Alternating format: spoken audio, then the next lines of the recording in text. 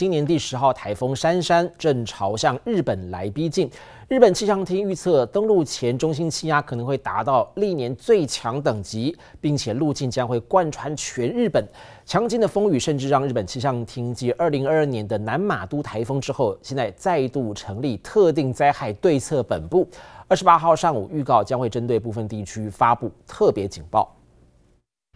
本来以中度台风之姿登陆日本的珊珊台风，路径一再修改，跟今年前几位台风大前辈最大不同，正是预测它的路径将从九州登陆，一路往东北纵贯日本列岛。Our friends out here across southwestern Japan on Wednesday morning are waking up to a borderline super typhoon. That is Shanshan. It has intensified as expected right near the Amami Islands, where it already has been bringing winds up and over 150 kilometers per hour. Expecting to peak at about 185, so could be a super typhoon. 珊珊都还没登陆，风强雨大，日本西南部海岸边也激起好高的浪花。目前所知，风力持续增强，也将从大豪雨状态进入超大豪雨。 多条新干线已排定晚上停驶，四十八小时内雨量累积超过三百毫米，是二零零三年开始统计以来八月份的最大暴雨量。爱知县内甚至发生了山崩，有五位居民一度受困房屋内，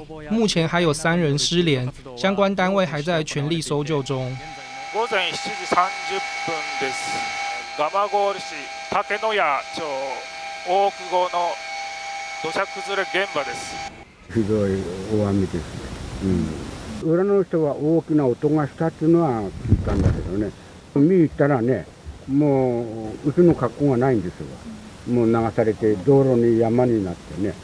目前台风仍然在日本西南部外海龟速移动中，这样的姗姗来迟，不止造成日本近两百个航班被迫取消，位于冲绳东北方的奄美大岛也因为补给困难，商品陆续出现缺货的现象。 鹿児島から来てるパンはもう昨日の段階で全部品切れしております。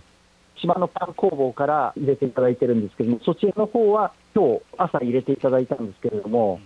2時間くらいで完売ですね。こんなに早い2時間で完売するっていうことはないです。